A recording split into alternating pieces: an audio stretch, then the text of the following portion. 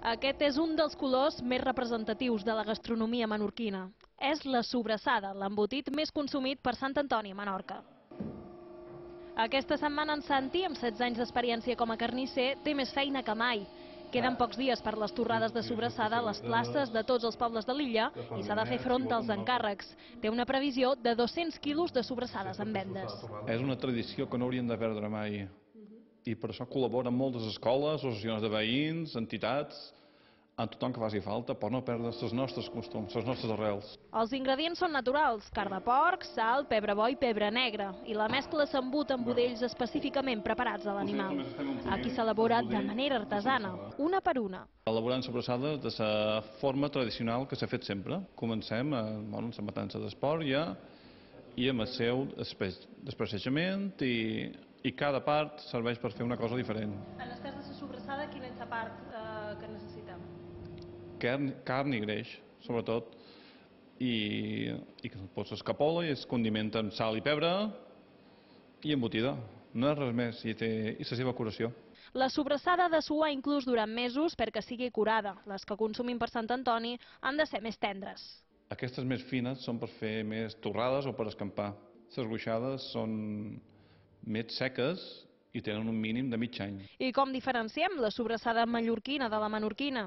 Encara que sigui una distància molt curta, la sobrassada mallorquina és més grossa, d'un manco sal i més pebre, i està capolada més fina. Això fa que amb ser més grassa faci més bon escampar damunt del pa i la de Menorca du més carn i més sal. I està capolada més gruixada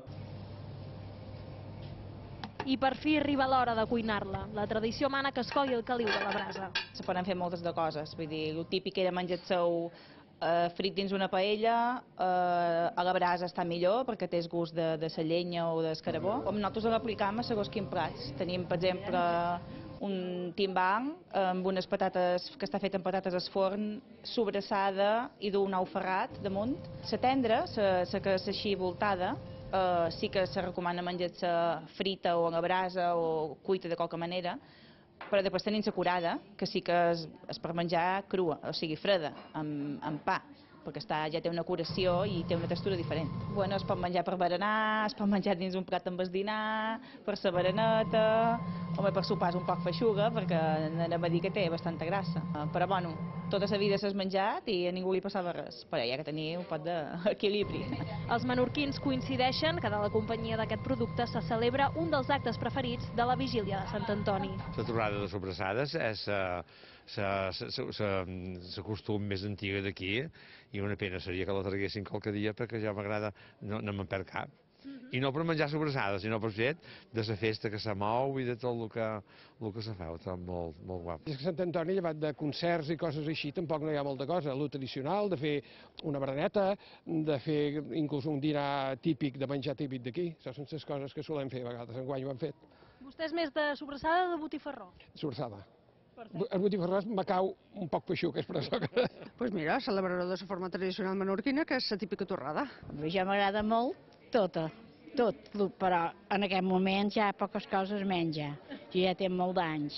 Bueno, però per Sant Antoni, per fer una, una excepció. Bueno, sí, pots fer una excepció. És agradable en entrar a la plaça i menjar un bocadillo calentet, eh? La nostra torrada, clar, i després anar a veure si hi ha qualque, qualque de zona de balls de balls típics i coses d'aquestes, no? Què t'agrada més, la sobrassada o el botifarró frit?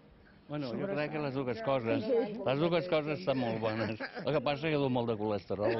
Nosaltres, com que es diu Antoni, fem una festa a casa. Pues solem pujar a Cas Cuncus i fem allà la sobrassada. Juntament amb el botifarró, la sobrassada es menja acompanyada amb pa. Un plat tan senzill com deliciós.